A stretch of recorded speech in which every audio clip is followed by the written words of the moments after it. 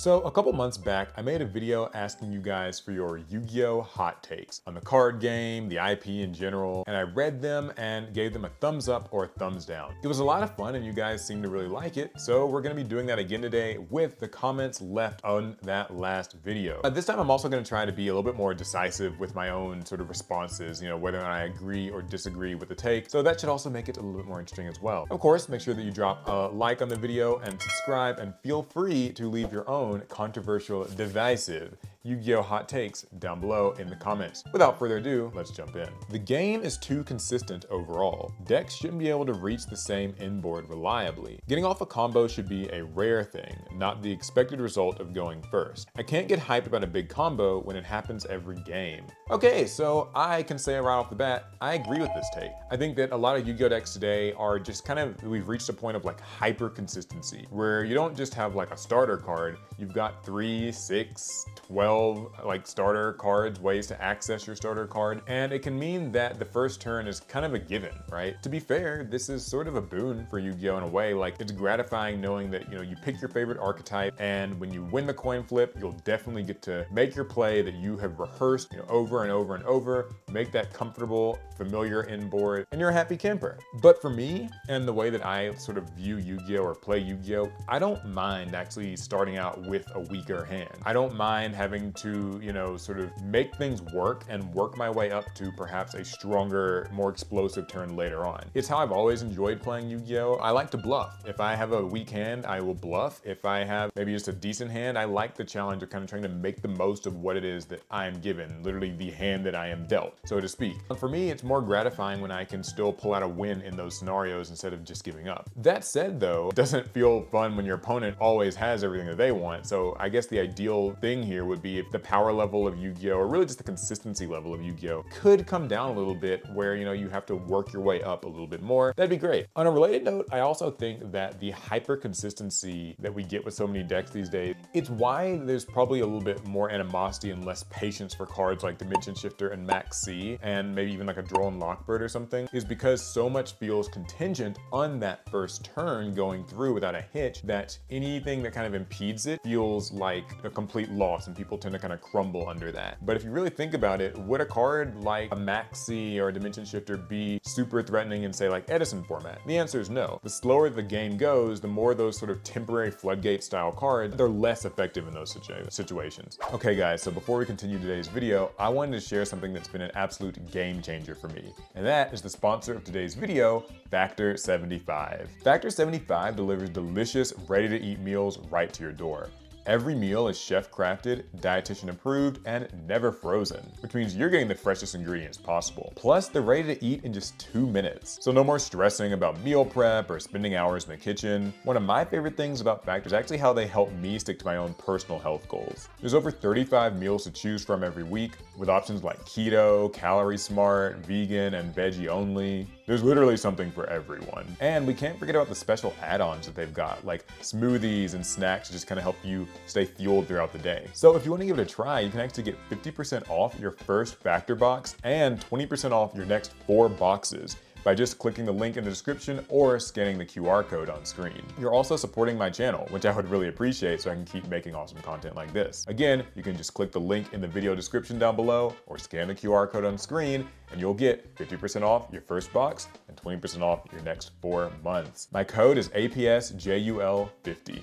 That's Factor 75. Thanks again to them for sponsoring today's video. So this person says, 10 days later after playing Master Duel, I realized a hot take. We prefer playing Yu-Gi-Oh! alone via video games like the World Championship games or Legacy of the Duelist rather than playing against people and getting raged to quit due to how it is nowadays in competitive Yu-Gi-Oh! Hmm, this is actually an interesting take. I've never heard it exactly expressed this way, but I think I get what this person is saying. Yu-Gi-Oh! is or can be more fun when you are playing against the computer or like an AI opponent just in a story mode where you get to kind of test your deck out and play and stuff, but there aren't really any stakes. If you mess up, you can always just quit and restart, and there's not really any lost pride because it's like a single player game, right? You're just like losing to the computer. And I get where you might be coming from with that. I disagree with the take though. For me, Yu-Gi-Oh is really only fun when I'm getting to sit across the table or even, you know, across the screen or whatever from an actual like human opponent. With a computer opponent, it can be great if you just want to like kind of have a test dummy to like learn your deck's combos against. Sure, totally fine.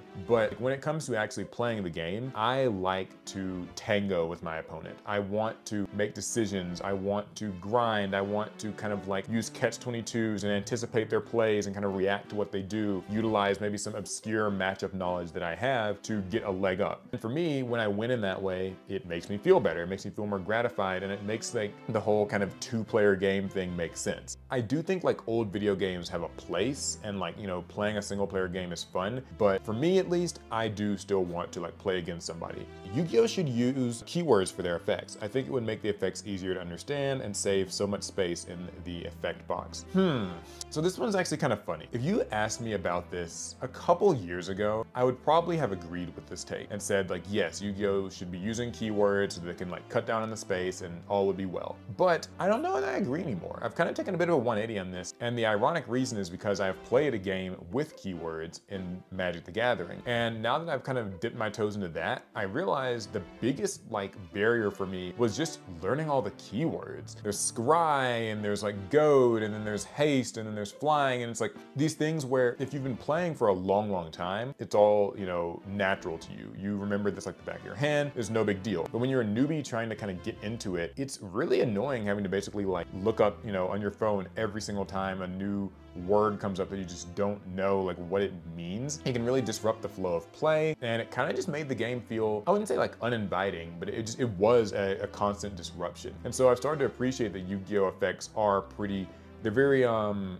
they're very clear and precise and they don't exclude any small bits of nuance. You, you very much know what the card does for the most part, and I appreciate that. However, I will say that Yu-Gi-Oh card effects are still long and I do appreciate any opportunity Konami takes to cut down even just a couple of words on them makes a big difference. But more than that, I wish that Konami would change the way that the cards are formatted. Master Duel recently implemented this update where there's like a line break between different effects. I think that the TCG could afford to make more use of bullet points points or maybe like numbers, line breaks, something where reading the effects is easier because like I hate when the whole effect, it's so long that it just has to like fill up the text box and you just kind of have to like find what you're like looking for among all of these different words and kind of sentences and the clauses and hard ones returns. That's something that I think would be nice if we could, you know, reformat it or maybe trim that down where we can, but I don't think the keyword's the answer. So I would disagree with this take. Really hot take here, no pun intended. Burn decks actually take skill to play. I agree with this take. I can already say, as a longtime Yu-Gi-Oh! sort of tournament goer, I think that burn decks at a glance seem gimmicky, right? Everybody's gonna say, oh, like, you know, you're just trying to cheese your way to a win. Burn decks don't take any skill. You just flip all these burn cards and you win automatically. But I, I think that really kind of couldn't be further from the truth in today's Yu-Gi-Oh! Where a lot of decks, as we mentioned before, are hyper consistent, whereas burn decks kind of aren't. You're just usually stuck with what you draw. A lot of decks these days have plan Bs and plan Cs, lots of recursion. Burn decks don't get any of that. If you use your cards and like you waste them or don't maximize the amount of burn that you can get from them, because yes, that is a thing. A lot of cards are all about counting how many cards your opponent has in their field or their hand, like secret barrel type cards or chain strike when it comes to like, you know, making sure that the chain goes high enough for chain strike to deal an appropriate amount of damage. All that stuff, you can't really waste any cards with a burn deck. These days, like Yu-Gi-Oh has negation effects. Like there's a lot of removal, there's a lot of like quick effect kind of negation and disruption. So playing a burn deck in today's climate is like really hard. It was I wouldn't say it was ever like easy to play a burn strategy, but today it feels like it's especially hard to play them and you can kind of tell like burn decks don't show up in the top tables of much of anything. Floodgates are just a transparent, less steps version of combo negate boards. We just accept combo end boards more because we can convince ourselves that we were outskilled thus swallowing the loss more easily. Uh, yeah, I agree with this take. There's always gonna be this push and pull between what is healthy for Yu-Gi-Oh! Are floodgates okay, right? Because they just say that you can't do something. I think that as far as like not letting your opponent play, combo decks kind of are about the same. There's always this argument that I hear that like, well, you know, a combo deck means like you have to memorize a combo tree and kind of adapt your combo based on the hand traps that your opponent plays, whereas with like a floodgate, you just flip it up and win. However, I think that those are valid points, but I think like if we're talking just the end result, then yeah, this is just a less steps version of that. Now that being said, I don't like floodgates. I want to be clear about that. Like, I'm not saying that we should just put them all to three because like they're the best thing ever since sliced bread. No, I'm glad that Konami has been like cracking down on them. I just also think that they should be cracking down on like, you know, any Omni Negate style cards as well. Less of the opponent just outright doesn't get to play and maybe more of the like, you outplay the opponent. I know it's abstract, but that's just my opinion on it. Not having a Yu-Gi-Oh anime, Sevens and Go Rush are Rush anime, not regular Yu-Gi-Oh anime, is actively hurting getting new players. 100% agree with this. Uh, I wouldn't even really call this a hot take to be completely honest, but it would be in the sense that like some people prefer that like our mainline sets are not being filled with what they might consider anime trash. I get it, there's a period of time where it felt like every set would have like all these weird Goki and Dino Wrestler cards and like, you know, just Altergeist cards that you kind of didn't want or need or care about, and they were just from the anime and so it felt like filler. But in like broadly speaking, I think that having an anime that's actually airing is a great way to onboard people. It's great because people can watch the anime and then like see those same characters, strategies, decks, cards reflected in the physical TCG and it can give them something to aspire to get. So now it's like, okay, I want to play a soul burner deck. So that's like why I will get into Yu-Gi-Oh! Whereas now it kind of feels like Konami is a lot more so just resting on their laurels. We get a lot of legacy support, but legacy support might speak to an older player, or it might speak to an existing player who likes some of these past animes. Oh, you like, you know, GX, you can get Ancient Gear cards or whatever. But I think having a like running, airing anime does a lot for getting people invested in the game, new faces wise. Okay, so this one says, literally none of these are hot takes. These are all the most milk toast, reasonable, and regurgitated takes I've ever heard. This person's referring to all of the hot takes from the last video that people left. Here's an actual hot take for you, and this one's a bit long. People don't like advanced format. They've just been mind broken like a bunch of cheap whores into thinking they do. Konami should just murder advanced format. Just completely stop supporting it, stop running any events, throw the current advanced format ban list out the window, and just start supporting Edison or an entirely new curated format that's far more limited in power. If they did this, I guarantee you nobody would actually still play advanced format because people don't actually like it, they just play it because it's what Konami supports and peddles to them. Woo! Okay, so it's uh it's one of those. I agree. This is one of those things that we, like I talk about with friends when it's like, you know, really late night, just kind of like we're just having this think tank of Yu-Gi-Oh! And it usually reaches this point where it's like, there's so much about the modern kind of just advanced format Yu-Gi-Oh! So many issues or problems that some of us have with it. And I sometimes find myself thinking like, do people actually like what Yu-Gi-Oh! is today? I know that's sort of like hyperbole, right? Like there's gonna be somebody who enjoys exactly what they're playing today. But when I look look online and I see people who are following the game, I get a sense that like people don't really enjoy like a lot of what Yu-Gi-Oh's kind of putting down right now. People don't enjoy playing against a lot of hand traps. People don't enjoy solitaire kind of, you know, coin flip feeling formats. People don't enjoy tier zero decks. But I do think that they still play because there's just this weird, um, I've heard it described as Stockholm Syndrome. I've heard it sort of described as like a suspension bridge effect. You know, maybe it's just like people are so invested in Yu-Gi-Oh! and like they feel like it's kind of, it's a, a big part of their personality. They don't really have a lot else that they do. It's their hobby. Or maybe there's like this hope that it will eventually at some point kind of become what it once was or become this perfect version of itself. And so until that happens, we will just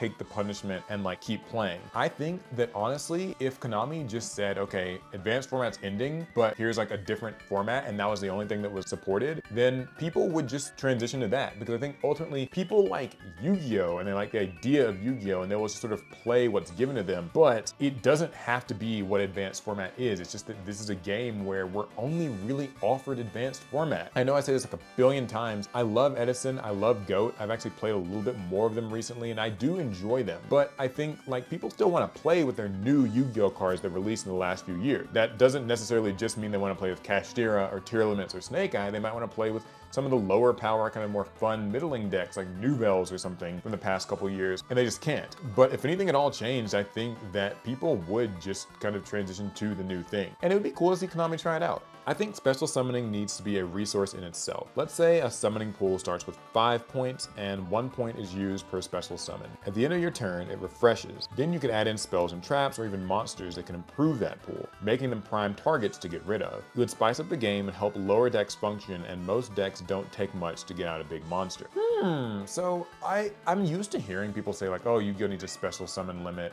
So like, you know, I've never really agreed with those takes because I've always found that they just are kind of short-sighted. Limiting the amount of special summons in the game feels like that would knock a lot of decks just completely out of contention because there are decks like Synchrons or Black Wings or whatever that are like not at all super OP or meta dominating, but they just typically need kind of a lot of special summons to get going. However, I find this is kind of an interesting take because it sort of makes it sound like it's more of a resource system that can build over time. So yes, you are limited in the amount of special summons that you can make within a single turn, especially your first turn, I like the idea of it being something that you can kind of like build to the point where like by your second, third, fourth turn, you're able to do enough special summons to, you know, facilitate what would be a normally like turn one combo. I like the sound of that. I think that it would be a great way to make the first couple turns be kind of more about setup and then the later turns be more about like explosiveness and preparing for whatever your opponent's gonna kind of do in that moment. I've seen a lot of games do this really well. Like the obvious example would be Magic the Gathering with lands, where like turn one, you might just kind of play a land and stop. I like the idea that like you could still special summon a few times in your first turn. I think Yu-Gi-Oh still needs the special summon just for decks to feel like Yu-Gi-Oh decks, but it would be cool if it was like limited to only a few special summons at first and then like more later, and like the resources don't really necessarily disappear. So like each turn is like a ramping escalation of speed and intensity. I think that'd be fun. I think that it almost reminds me of like Yu-Gi-Oh 5Ds with like the speed counters that they had in their Turbo Duel, where like you kind of had to accumulate speed and you can, utilize that speed to do more things, get more summons and stuff like that, or increase monsters levels. It's definitely like a new take on Yu-Gi-Oh, so it'd have to be like a separate format, but I would 100% be here for it. So yes, I agree with this take. Master Rule 5 was a mistake. Okay, hmm. So I'm inclined to say I disagree with this take, but let's talk about it a little bit. So Master Rule 4 is the one that I think most people see as the controversial one, right? Where like it adds link monsters and the extra monster zones and like the whole like you had to have link arrows pointing to zones and stuff like that. Master Rule 5, or really Master Rule 4 revision, but sure we'll call it Master Rule 5, it just kind of reverted a lot of that. I don't think that it ruined Yu-Gi-Oh! particularly because like my argument would just be that like it kind of made things feel like I guess Master Rule 3 plus links. So like I, I, I don't really like entirely get the argument there. Like there are plenty of things that I, I don't like about like kind of just general modern card design, but I would not say that it was the master rules themselves. I think that every master rule at least tried to do a specific thing, and I don't think that any certain one hurt Yu-Gi-Oh much. You could say that like Master Rule 4 kind of felt like it hampered Yu-Gi-Oh at the start. It was very kind of,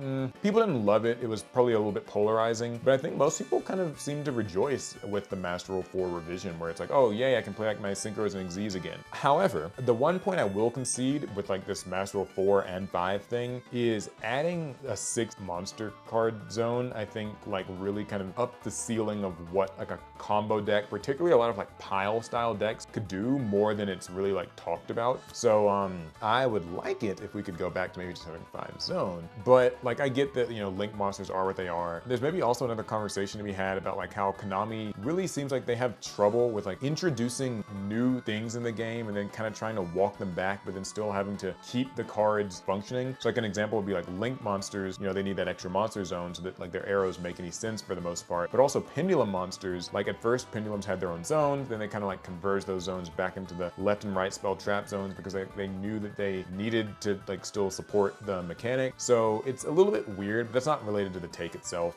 Hot take, the game should have more mechanics so there's never one deck that can top any one format. There should always be a rock, paper, scissors, of course add more objects for the sake of this example, type of relationship, and while maybe rock will be the most dominant type of deck at a tournament, it can still lose or pose a challenge that paper would bring. So this is an interesting take. I am not 100% sure that I completely understand it, so I'm going to just sort of address it from what I read and I think that I'm like gonna gather from it. I think that I disagree with this take, or well, I think Yu-Gi-Oh already does this. Like I think that usually there's like a top deck where there's typically a sort of like anti-meta strategy or something that counters it fairly well. Like there's usually, you know, combo decks and then there's usually like kind of more, I guess what you'd call stun or control strategies. That varies a little bit year over year, format over format. Like right now that might be considered something like Labyrinth perhaps or Runick, but it's also been Floowandereeze in the past. True Draco to Zoodiac maybe would be an example. Dragon Rulers to Spellbook might be a really old example. I think that Yu-Gi-Oh already has this. I get that maybe this person is saying like they don't like tier zero formats, which sure, like 100% agreed, I don't like them either. I'm not really sure if I understand the take, so I'm gonna disagree with it, but if somebody maybe has a better understanding of what this person is maybe saying, then I'd love to hear about it in the comments. Hot take. I think a lot of players have a hard time admitting modern Yu-Gi-Oh! is inherently not well balanced and flawed design-wise. To be fair, it's not a Yu-Gi-Oh! player thing though. Most people have this, if I like slash enjoy it, it must be good mentality. Hmm, yeah, this is kind of a fun, like, just thought piece here. I uh, I agree with this take. Uh, for in fear of maybe sounding like a bit of a hypocrite because like I complain about a game that I know won't really change. So I mean, like even I, I don't know. I think that if you play Yu-Gi-Oh long enough, you kind of find yourself in one of two camps. Either you are, like we said, that sort of Stockholm syndrome, like you just you play it, you enjoy it, you deal with it despite its issues, or you hate it and like kind of despise it, and it's like, well, uh, I don't know. I I think like it's rough. Nobody likes hearing somebody insult their favorite game or kind of point out the flaws in their favorite game. I get a lot of flack from people myself because they're always like, well, Paul, like all you do is complain. You're always complaining about Yu-Gi-Oh! Do you even like it at all? And it's tough because it's like sometimes you, the thing you like the most is also the thing that you're the most critical of. At least for me, it feels that way. But then I realized there are people who they don't seem to see it like that. Like they think that like to like it means to fully just embrace it and everything's just, it's fine. I don't really know. I know I said I was gonna try to take more like hard stances with these takes, but like this is one where I agree with the take. I mean, I do think people have a tough time kind of admitting that Yu-Gi-Oh is flawed, but um, yeah, it, it just Sure, you know what, sure, I, I, agree with the take. I think AI can help Yu-Gi-Oh! It can help when trying to figure out what cards probably should be banned and which ones should be taken out. Also, when it comes to Master Duel, Yu-Gi-Oh! can uh, help determine a deck's power level and match them up with a person of a similar power level for casual matches. I think there's opportunity for AI and Yu-Gi-Oh! Konami just needs to invest money and time into it. So this is interesting. Um, we actually have gotten a bit of a confirmation that Konami is working on some AI system or like mode maybe for Master Duel or something like that, where it's like an AI opponent that you can play against, but that doesn't sound like what's really being talked about in this take in particular. But I do think that AI could be fun to see in Yu-Gi-Oh! There's like this fun like half joke running theory that Alec and I had, which was that um, you know, Yu-Gi-Oh! Master Duel likes to use AI to make its ban lists. And I've heard like other people echo this sentiment where early on in Master Duel it almost felt like, you know, the ban list would just hit these certain cards to like two, and that'd be it. Like it just hit like one random card to two. And it almost felt as though it was just AI making it because it's like, well, okay, if you put, you know, Runick Fountain to two and change nothing else about the Runick deck, let's say, then it would maybe decrease Runick's win rate by like 2% uh, over the course of like, you know, tens of thousands of games. And against the average player, they're not gonna really feel the effects of that hit, but like, you know, statistically, it will bring that win rate slightly lower. Those sort of solutions, I don't love them because I think that like players want to see kind of more blood with their ban lists. So I, I get why that's not really super popular. I'd be interested in like the idea of it. Like I'd like to see it happen. I just don't know that with how mature Yu-Gi-Oh is and how invested people are, they just might not like a ban list that feels too random or feels like it's not, you know, bespoke for their needs at the competitive level. So I agree with the take and then I think there's potential and I'd like to see it. I disagree. Sure, I, just, I agree with the take. Sure, we'll, we'll, we'll say I agree. I'd say summoning methods are a big part of what ruined the game. The big problem with them is that they devalued monsters into materials. Before Synchros, almost every monster in your deck had to do some good self-sufficient thing. Sure, there were cards like Treeborn Frog, but even that's nothing like throwing monsters in your deck of specific levels to make certain Synchro and Xyz plays. Then Synchros came out and it all started with Junk Synchron making you just want to run some level 2 fodders and it all went downhill from there. This is a major key part for why the game turned into what it is now. Accelerated power creep happened because with cards having been devalued into mere materials rather than cards used for their own merit, the game had to be more consistent to collect these materials or you'd get terrible games where people lose simply because they didn't get their combos since their cards on their own couldn't cover for that anymore because once again, they were now just mere materials used for their own merit. But that in turn made big cards too easy to play, resulting in a huge acceleration of power creep that's never slowed down since. Okay, uh, I agree with this take, actually. I it's a, it's a bit of a long one, I had to kind of process it, but no, I agree with what this person is saying. Um, I do think post Synchro, it feels like there are a lot of decks that are kind of the pile deck that just sort of seeks to get out warm bodies. I mean, even if you look at just the Fiendsmith engine, ultimately what it is is warm bodies. That's what a lot of engines were. That's kind of what the Adventure Token engine was. That's how a lot of decks fundamentally are built now. The cards do less on their own and do more just like when they're combined in tandem. It makes the game more exciting, sure, but I think that um, it does mean that like the role that a monster plays in your main deck might just be it special summons itself or it comes back from the grave and then will just be used like for link material or Xyz material. Is it a good or a bad thing? I mean, I kind of think it's a bad thing. That's maybe more of my Yugi Boomer self coming out. I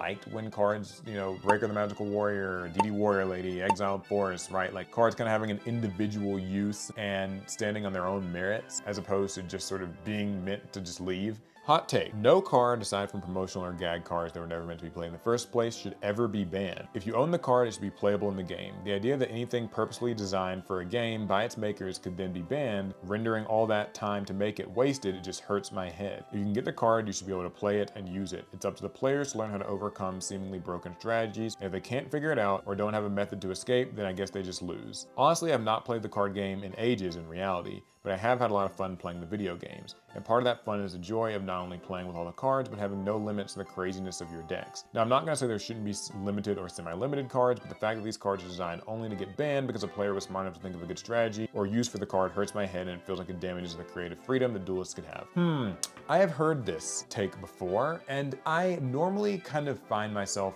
opposed to it and all that, and I think I still am opposed. Like I still think that like cards should be banned or should be able to be banned. But I'll say this. I think that, and this is maybe my own hot take that I would like respond to that hot take with. There should be no reason for a card made in the last five years to have to be banned. Okay, so here's what I mean by that. Back in the day when Yu-Gi-Oh was like old or young or whatever you want to call it, Yu-Gi-Oh cards were like kind of just, it was all like stuff was just coming out for the first time. And so there are a lot of unintended interactions, unintended like kind of strategies formed that could be just really unfair and OP. Your FTK started to form and like weird locks and ruling discrepancy type of cards like your self-destruct button or your fiber jar kind of things. And I think that a ban list made a lot of sense then. A lot of stuff just ended up being used in ways that were not intended. I think today though, Konami making a card like say Kashtira Arise Heart, where it's just kind of clear that this card's gonna have to get banned. Konami should kind of, they should have known better by now. Like they've made Block Dragon, like we've lived through this. We know what these types of cards are capable of. Why are we still making them? And I get it. The obvious answer is, well, you know, make the new deck strong, so people buy it and then you can ban it and whatever, and like sell the next thing. But I really do find that a bit of a, a real, um, I guess I'm just disappointed in the card design sometimes. It's not exactly related to the take, although I guess it sort of is, but you guys can let me know what you think about that sort of thing. All right, our final one is, if most people started playing retro formats, the game's going to die. Cards are either dirt cheap or expensive due to not being reprinted, often because they've been in the ban list for 10 plus years. The most prestigious tournaments, GOAT World, RBET, etc., are not being held by Konami and the players are not buying products. The trading card game business model doesn't work if people can play with their same cards forever. Uh, it is a hot take, but it is true. Well, okay, there's caveats, there's always caveats. I think that if people only play these legacy formats, then yeah, Yu-Gi-Oh just might not ever get new cards or like might have to even end because it's like, well, okay, I can play with my Edison deck ad nauseum. I don't ever have to actually upgrade it or get new things. I mean, I guess Konami can always release like rarity bumps for old Edison cards. That's something they've been doing recently. But yeah, it's kind of the same same reason why I'm imagining they don't want to add like a GOAT or Edison like queue into Master Duel because once you make those decks, you'll never really have to like craft new cards. So it wouldn't really be, you know, in their best interest to do that monetarily. Yeah, there's not really a lot more to say about this take other than I do, I think it's true. Like if people only played those formats, then like Yu-Gi-Oh might just kind of stagnate and nobody would, nobody, nothing new would come out or people, new stuff would come out and people just wouldn't play it and that would kind of be the end. It's why I think that Yu-Gi-Oh itself needs to, to dial it back to like a mid power level format so you can play with new things that have been released in the last few years and like still be able to use it, but just not like lose to Snake Eye Fiendsmith or whatever all day long. That's my take anyway. So that concludes our Yu-Gi-Oh hot takes for the day. I tried to get through a few more than I anticipated, but it was fun. Let me know what you guys think about all these takes and leave your own controversial ones down below in the comments. All right, I'll see you guys in the next one. Fast turn.